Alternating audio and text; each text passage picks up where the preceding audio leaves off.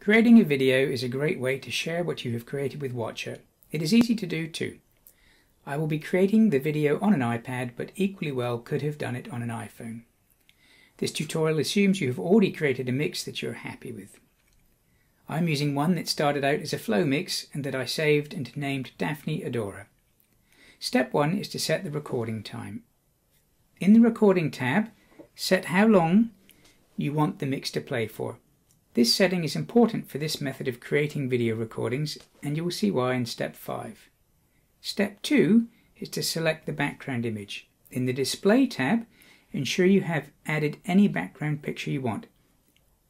Tap the picture button and use browse to browse your photos or random to have a simple screensaver. I've already selected my image so I'll stick with that. Step 3 is to choose the display settings.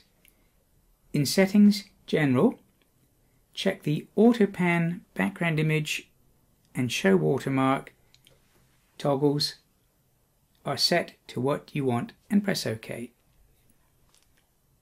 Step 4 is to start screen recording. Call up the screen recording app and make sure the microphone is off. For the purposes of this tutorial, I am recording the next section on the iPad itself. Start the recording and go back to Wotja. Wait until screen recording has started. Step 5 is to select the Display Action menu option.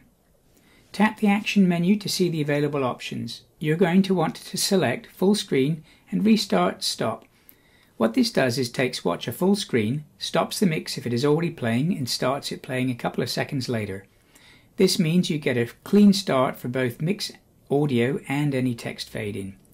The mix then plays for the time set in step 1, which was 45 seconds, and then stops and waits a couple of seconds before returning to the display screen.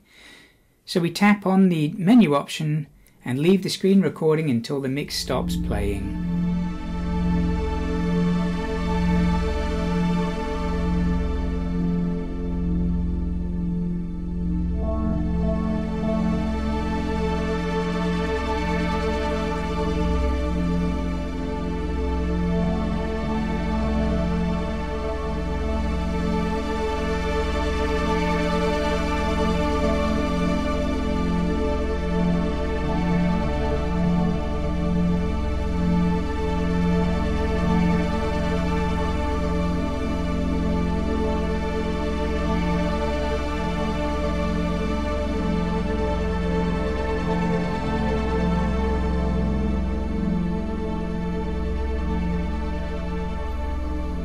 Step 6 is to stop the screen recording.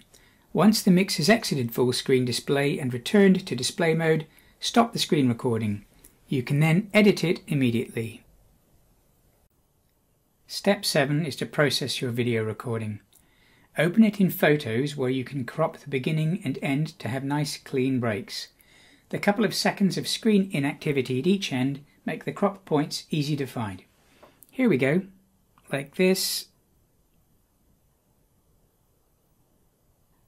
and like that. If we play that, there you go. Very nice. So if you tap done and save the video, then you're ready. It'll be up to you then where you share your videos, be that YouTube, Instagram or wherever. And we hope this shows you how quick and easy it can be to create a video of Wotja. Happy sharing.